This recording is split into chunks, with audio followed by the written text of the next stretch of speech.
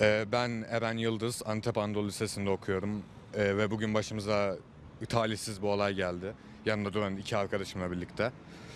Ee, okulda iki tane arkadaşımızla ortada hiçbir sorun olmamasına rağmen üçümüz de bıçaklandık.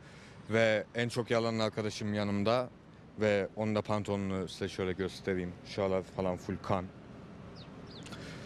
Ee, dediğimiz gibi yani bizim o arkadaşlarla hiçbir sıkıntımız yoktu ama artık keyiflerince mi, eğlenmek için mi hiçbir fikrimiz yok. Bize bıçak taktılar. Benim üçümüzün de bacağında yara var. Bir arkadaşımızın da ensesini çizdiler. Hepimizi farklı zamanlarda bıçakladılar. İlk beni bıçakladılar. Ee, ikinci ders Okulun saatinde. içinde mi oldu bunlar? Evet okulun içinde oluyor hepsi. Arkada, benden hemen sonra boynu yaralanan arkadaşımızı ondan sonra en çok yaralanan arkadaşımızı en sonda öbür arkadaşımızı bıçakladılar. Peki bunda yani ilk sen bıçaklandın. Okul Evet. yönetimine gitmedin mi yani ikinci yaralamak için? Ee, şahsen e, gitmekten korktum. Çünkü hani o arkadaşlarımız da okulda biraz kabadayılık yapan ve hani şey tiplerdi, çevresi olan tiplerdi. Biz de hani bundan korkarak ilk başta gitmemiştik. Sonra çıkışta arkadaşlarım müdürün yanına gittiklerini söyleyince ben de gidip şikayetçi oldum. Şu anda da darp raporu almaya geldik. Bugün ta- e, tatsız bir olay yaşandı ee, Anıttepe Lisesi'nde. Ee, kendini bilmez 2-3 kişi e, 4 tane çocuğu e, yaraladı bacaklarından ve çeşitli yerlerinden. Ee, biz bunların e, cezalandırılmasını istiyoruz. Ee, tabii okul yönetimiyle alakalı da e, şunu duyurmak istiyorum.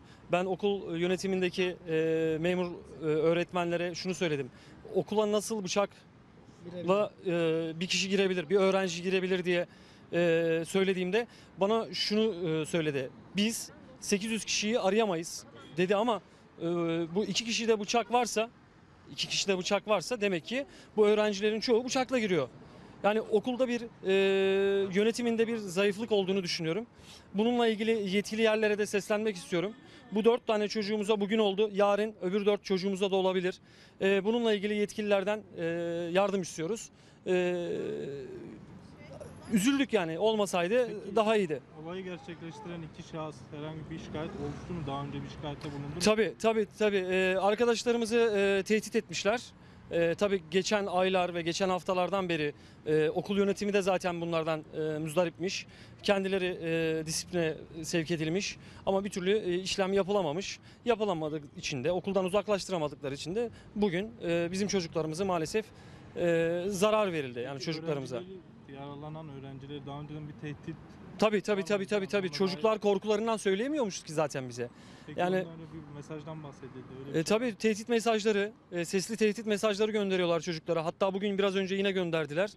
E, işte sizin cezanızı biz keseceğiz. E, çeşitli mesajlar, tehdit mesajları gönderiyorlar. Biraz önce yine gönderdiler. Ben, ben buradayım.